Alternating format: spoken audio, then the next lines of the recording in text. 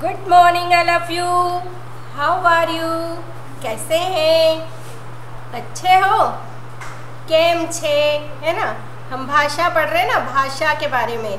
तो सबकी अलग अलग भाषाएँ हैं। कोई हिंदी है, कोई गुजराती है, कोई मराठी है। है ना? बोली भी अलग अलग होती है। कोई मालवी बोलता है, कोई निमाड़ी बोलता है। तो बेटा, हमने पिछली क्लास में ग्रामर पढ़ रहे हैं अभी। दो चैप्टर हो चुके हैं। आज हम तीसरा चैप्टर पढ़ेंगे। है ना? शुरू करने से पहले हम लोग क्या करते हैं? दो मिनट के लिए भगवान को याद करके धन्यवाद देते सब अपनी आँखें बंद करें, हाथ जोड़ें और मेरे साथ दोहराएँगे। है ना? तो मैं वो माता च पिता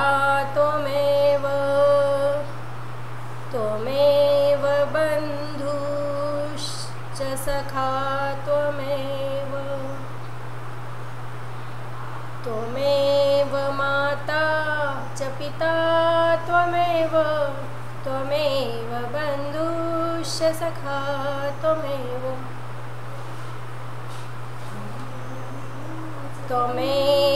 विद्या च द्रविणं त्वमेव। त्वमेव सर्वं मम देव आप लोग हमेशा मेरे साथ दोहराएँ, इसलिए मैम आपको धीरे धीरे बोलती है ना। तो हम हमेशा एक नया श्लोक, नया मंत्र, कुछ भी हमारी क्लास में शुरुआत में करेंगे और ये सभी आपको अच्छे से याद करना है ना? अब क्लास की शुरुआत में मैं आपको एक स्टोरी मैंने सुनाई थी, है ना? तो स्टोरी के आंसर मुझे दो तीन बच्चों ने दिए हैं। जैसे आद्या ने दिया था, आद्या मित्तल ने। तो उसने जो आंसर दिया था कि किसकी होगी? लड़की की शादी किस किस, किसके साथ होगी? एक बच्चे ने दिया है मुझे ऋषित ऋषित ने सही आंसर दिया और आद्या दुर्वे ने भी आंसर सही दिया कि लड़की की शादी बहादुर के साथ होगी। देखो, ज्ञान कुछ काम नहीं आया है ना, वो उड़ा के ज़रूर ले गया, लेकिन उसको लड़की को वहाँ से बचा के कौन लाया था? बहादुर लाया था। तो लड़की की शादी किससे होगी? बहादुर से। जिन बच्चों ने कोशिश की है, जैसे आद्या, दोनों आद्या ने मुझे सही आंसर बताया। ऋषित ने भी और कुछ बच्चों ने नहीं दिया तो कोई बात नहीं, उन्होंने सोचा ज़रूर होगा। लेकिन हम लोग क्या करते हैं सोच लेते हैं, उत्तर भी सही होता है, कुछ बच्चे क्लास में भी संकोच करते हैं बोलने में। तो हमें संकोच नहीं करना है। देखो, या तो सही होगा या गलत होगा, है ना? लेकिन हमने सोचा तो सही तो आद्या, दोनों आद्या, इनके लिए क्या है? क्लैपिंग करेंगे। अब मेरे पास श्रुत लेख। श्रुत लेख जो कि मैंने बोला था, आपको क्या करना है? बोल बोल के लिखना है।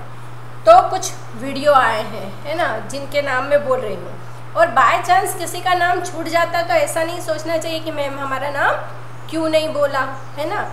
मेरे पास बहुत लंबी लिस्ट होती व्हाट्सअप पे बहुत सारे बच्चों के नाम हो गए हैं। वैसे तो जैसे आता है, मैं तुरंत लिख लेती हूँ। पर कभी कभी देख के चुक हो जाती है। है ना? जैसे नीरा नीरा ने क्या बनाया था? फास्ट एड बॉक्स बनाया और उसने भी श्रुत लेख मुझे बोल बोल के लिख के बताए हैं। नीरा, फिर आद्या मित्तल, वेदर्श, है ना? चीज़ें सानिध्य, विवान, इन सब के लिए, है ना? बढ़िया क्लैपिंग है मेरी तरफ़ से। सारे बच्चे क्लैप करें इनके लिए। और ये लिस्ट मेरी बढ़नी चाहिए। बहुत छोटी लिस्ट है मेरे पास अभी, है ना? ये नामों की लिस्ट पूरी लंबी हो जानी चाहिए। मुझे नाम लेने में पूरा एक थर्टी मिनट मेरा इसी में हो जाए। ऐसा होना चाहिए। तो सारे बच्चे अब मुझे अपना वर्क होमवर्क करके बताएँगे, है ना? चलो। अब हमारा पार्ट दो तक हो चुका है ग्रामर में। पार्ट दो के हमने प्रश्नोत्तर भी लिख लिए। अब हम आएँगे। सभी लोग अपनी ग्रामर की पुस्तक निकाल लें है ना? क्योंकि बिना पुस्तक के कभी भी पढ़ाई नहीं की जाती है। हमेशा पुस्तक, पेंसिल, शॉप करके बैठना है, इरेज़र, सब साथ में लेके बैठना है। अब आज हम पढ़ेंगे पार्ट तीन, शब्द और वाक्य। है ना? हमारा पार्ट तीन क्या है? शब्द और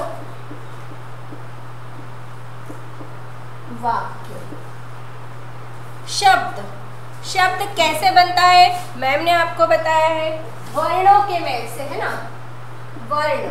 वर्ण आपको पता है क्या होता है? अ, म, र। जब हम वर्णों को जोड़ देते हैं, है ना? जिसका कुछ अर्थ निकलता है। कभी कभी क्या होता है? बिना अर्थ के भी होते हैं। अ, र, ग। तो जिसका कोई अर्थ नहीं निकलता है है ना? हमेशा शब्द का अर्थ होता है। अर्थ मीन्स उसका कोई भी अर्थ होना जैसे अमर एक नाम है है ना? घर, जहाँ हम रहते हैं।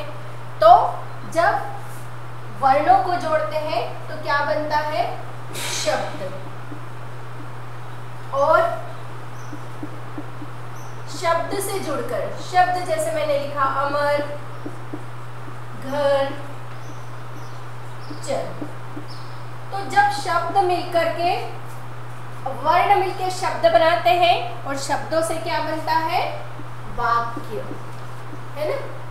तो ये चीज़ आप लोगों ने क्लास फ़र्स्ट में सीखी थी, लेकिन आप इसका, इसे आपने व्याकरण के रूप में नहीं पढ़ा था। है ना? जब आप छोटे हैं, और यहीं से आप लोग हिंदी बोलना, पढ़ना सीखते हो। हमने आपको पहले वर्ण सिखाए दो मात्रा के वर्ण, तीन मात्रा के, फिर उनसे हमने शब्द बनाना सिखाए, है ना? फिर आ की मात्रा, ओ की मात्रा, छोटी, बड़ी, सारी मात्राएँ सीखी। फिर आपने क्या करना सीखा? हिंदी को पढ़ना सीखा। तो शब्द कैसे बनते हैं? वर्णों के मेल से।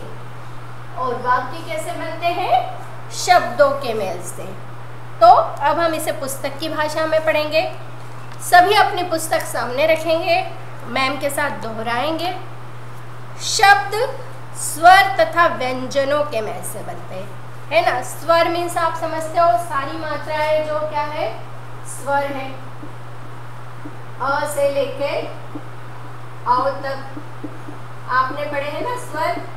अ, आ, ई ई, उ उ ए ए ओ औ ये क्या है आपके? स्वर। अब स्वर के बाद हम पढ़ेंगे व्यंजन।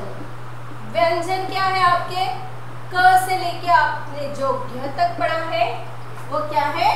व्यंजन। तो स्वर और व्यंजन के मेल से क्या बनता है? शब्द बनता है। और प्रत्येक शब्द प्रत्येक वाक्य का कोई ना कोई अर्थ ज़रूर होता है। जैसे, हमने व्यंजन ले लिया। रा सॉरी र व्यंजन लिया। इसमें हमने आ स्वर जोड़ा, है ना? रा, म, और हर व्यंजन में अ। अ का उच्चारण हर व्यंजन में है। क, ख ग, घ तो आपको अंत में अ की ध्वनि स्वतः ही सुनाई देगी। तो राम म। तो ये हमारा शब्द बन गया राम। देखिए, स्वर और व्यंजन दोनों के मेल से क्या बन गया है? शब्द बना है है ना? और शब्द से क्या बनता है? वाक्य बनता है। तो इस तरह हमने स्वर और व्यंजन हमेशा शब्द जब भी बनेगा, स्वर और व्यंजन के किससे बनेगा? मैल से बनेगा। मैल मीन्स दोनों को मिलाने से प्लस करने से। मैथ्स में करते हो ना? प्लस वैसे ही इसमें भी प्लस होता है, जोड़ होता है। तो र, आ, म, प, राम। इसी प्रकार पुस्तक में आपको और भी उदाहरण दे रखे हैं।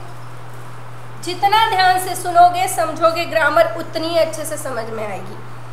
विद्यालय, आपको चित्र भी दिए हुए हैं। घर, लड़का, मंदिर, शलगम आदि। कोई भी शब्द हो सकता है है ना? ये पुस्तक भी हो सकती है, ये रुमाल भी हो सकता है, ये कंगन हो सकते हैं, मैम की माला हो सकती है, साड़ी हो सकती है है ना?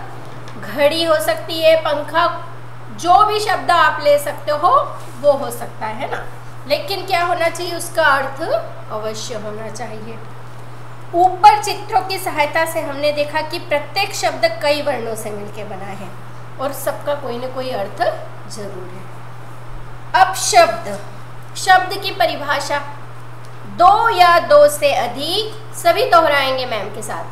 दो या दो से अधिक वर्णों के मिलने से जब कोई सार्थक अर्थ निकलता है तो ऐसे वर्णों के मेल को शब्द कहते हैं। सार्थक सा अर्थ जिसके साथ अर्थ निकलता है। कुछ क्या होते हैं? निरर्थक होते हैं। कुछ सार्थक होते हैं। अब इसके बारे में हम पढ़ेंगे। शब्द के दो भेद होते हैं। शब्द के क्या होते हैं? दो भेद होते हैं। शब्द के भेद। कितने होते हैं? दो। एक होता है सार्थक शब्द और दूसरा होता है निरर्थक।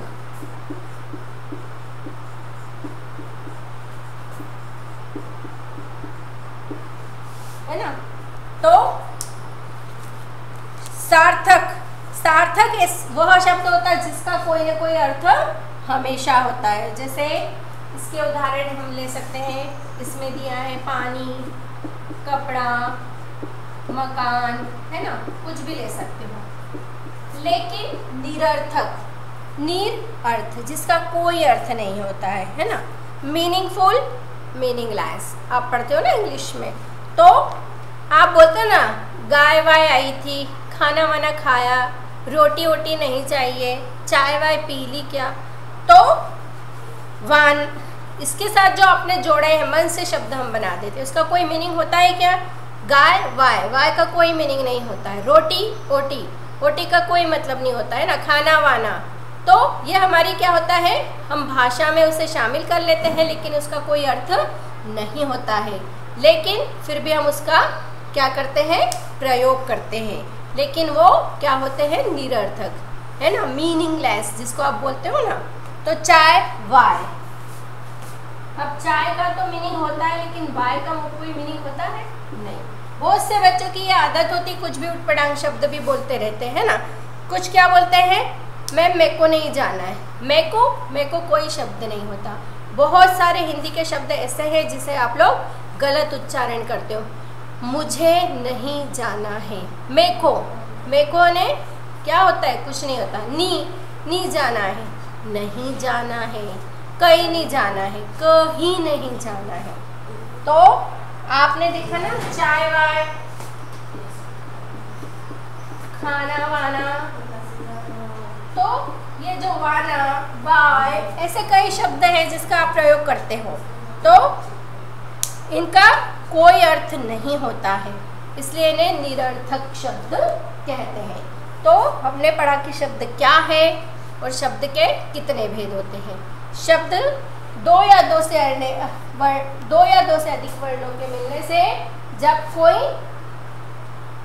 सार्थक अर्थ जब निकलता है तो वो शब्द कहलाता है। लेकिन ये दो, इसके दो भेद है। एक होता है सार्थक, एक निरर्थक, जिसका कोई अर्थ होता है और जिसका कोई अर्थ नहीं होता है। अब इसके बाद हम पढ़ेंगे वाक्य। बहुत सरल है ये चीज़ें। बस ध्यान दे के सुनना है आपको।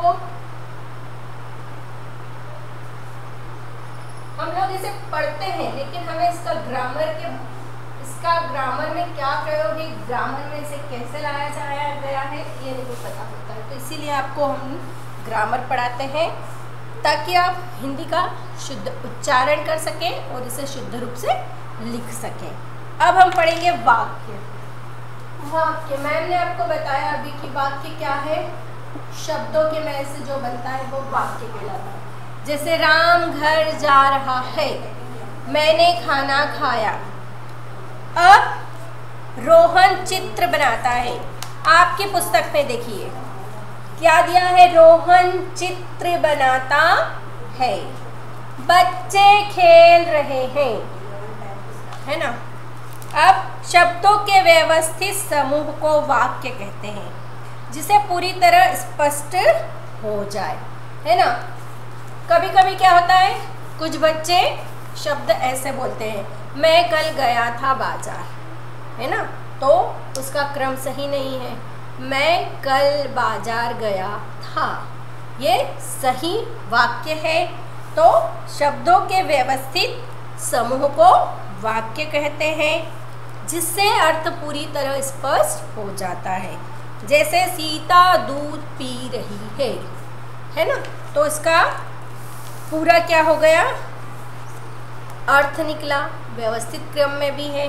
अब वाक्य के दो भाग है। जैसे शब्द के हमने दो भाग पढ़े थे, ऐसे वाक्य के भी क्या होते हैं? दो भाग पहला होता है उद्देश्य और दूसरा होता है विधेय पहला क्या है? उद्देश्य। और दूसरा क्या है? विधेय। है ना?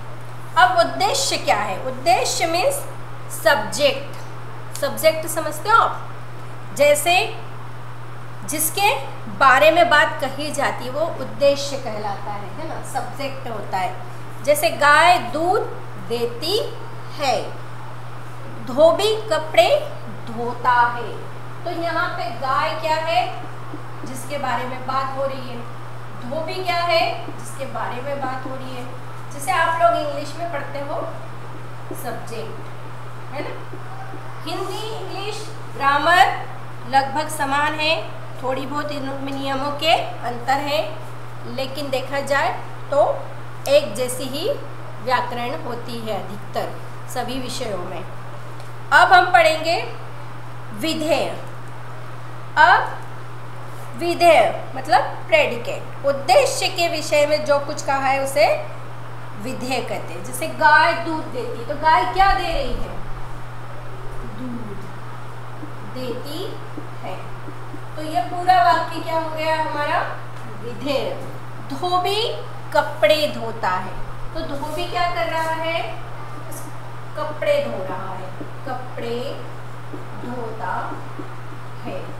जिसे आप क्या बोलते हो? प्रेडिकेट है ना? ये हमारा सब्जेक्ट ये हमारा, है ना? आप पढ़ते रह, अगर आप इंग्लिश में भी ग्रामर पढ़ते जा रहे हैं तो आप देखेंगे कि दोनों में बहुत ज़्यादा ही समानताएँ होती हैं। अब हम पढ़ेंगे उद्देश्य और उनके विधेय छाटेंगे, है ना?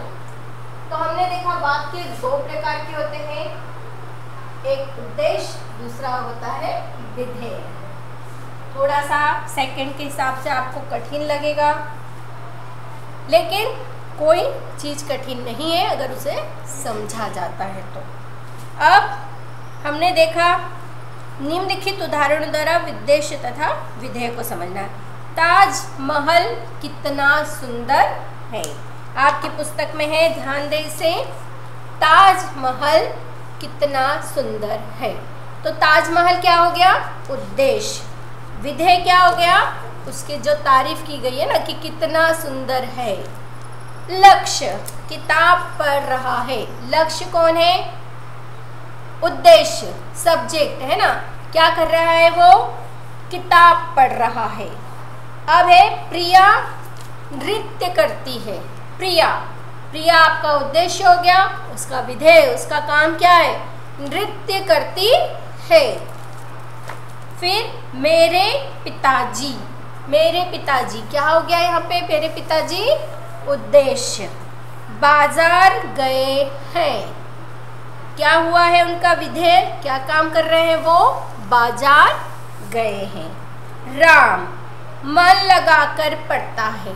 राम क्या है? उद्देश्य, क्या है विधेय में?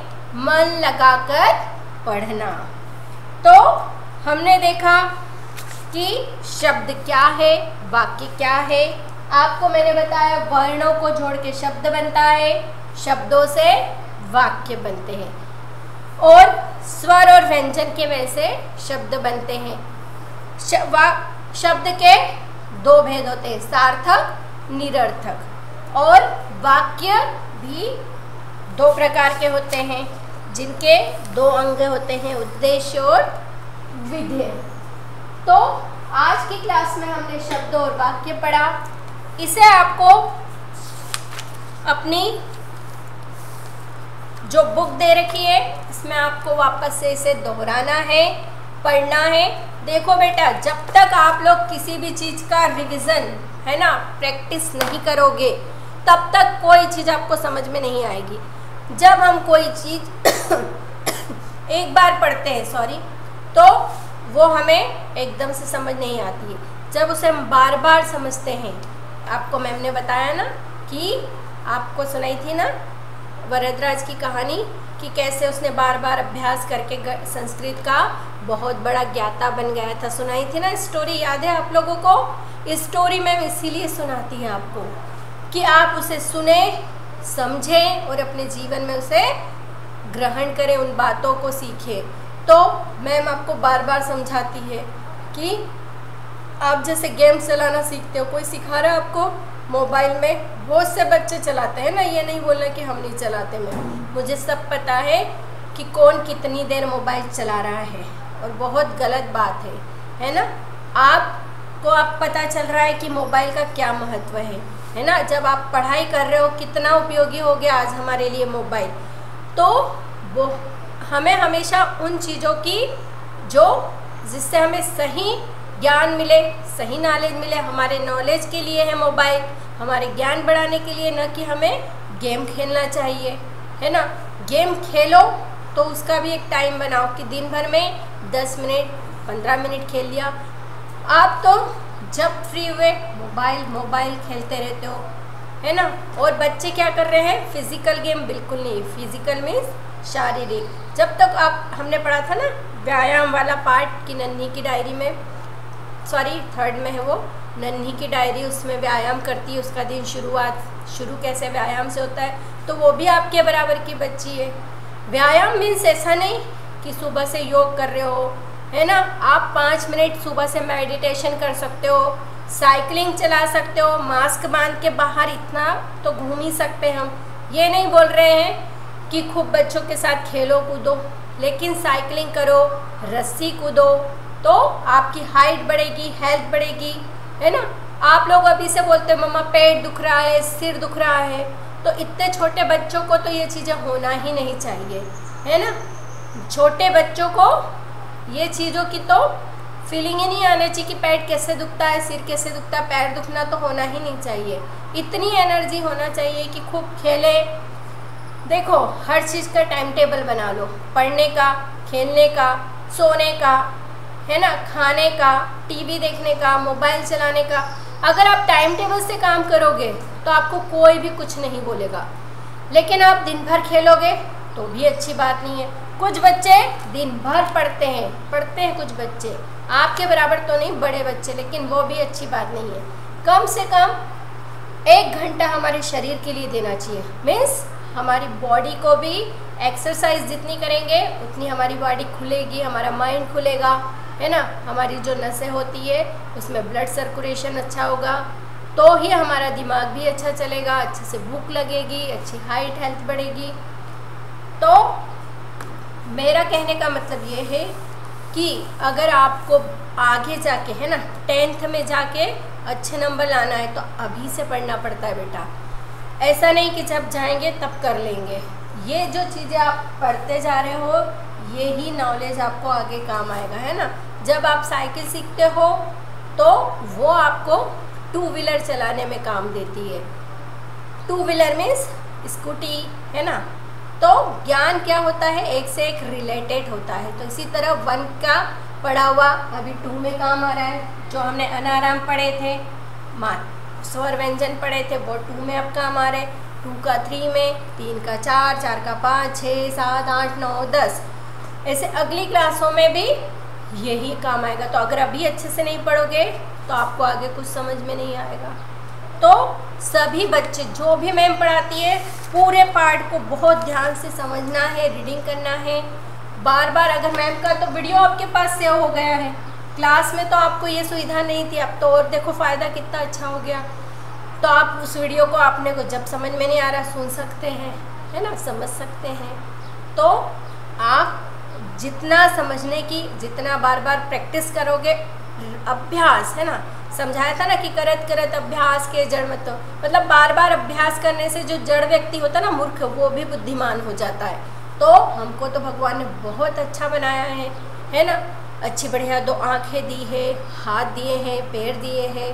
तो हमें क्या करना है? खूब मन लगा के पढ़ना है।